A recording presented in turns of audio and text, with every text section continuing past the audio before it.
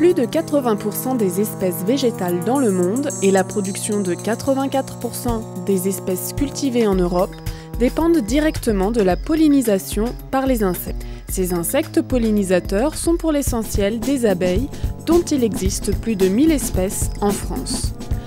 Mais qu'est-ce que la pollinisation exactement? Petit retour par la case départ pour un rappel.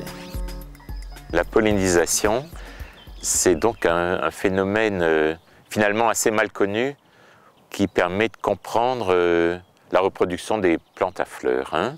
Alors là, on est devant un pommier et euh, c'est un bon exemple de, de, ce qui doit se passer pour que les fleurs de pommier se transforment en pommes. Donc comment ça se passe? Eh bien, c'est comme les, comme chez les animaux et les humains. Euh, il faut qu'il y ait une partie mâle qui rencontre une partie femelle. Alors si on prend l'exemple de la fleur de pommier, pour que la fleur se transforme en pomme, eh bien, il faut que le pollen arrive sur le pistil de cette fleur. Alors le pollen, eh bien, il se trouve au bout de ces 20 petites tiges terminées par un sac jaune, c'est ce qu'on appelle l'étamine, hein, euh, et dans ce sac jaune, il y a les grains de pollen. Et puis, la partie femelle, le pistil, c'est cinq petites tiges vertes avec une extrémité collante. Et euh, ces deux parties, donc qui sont sur la même fleur, eh ben, il faut qu'elles entrent en contact l'une avec l'autre.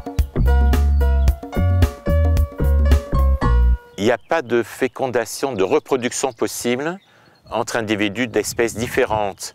Donc, par exemple, comme on le sait, un pommier ne peut pas se reproduire avec un cerisier ou a fortiori avec un pissenlit. C'est la barrière spécifique. On se reproduit au sein d'une espèce. Et un même individu ne peut pas se reproduire avec lui-même la plupart du temps. Il y a des exceptions, mais la plupart du temps. Donc ce pommier ne peut pas se reproduire tout seul.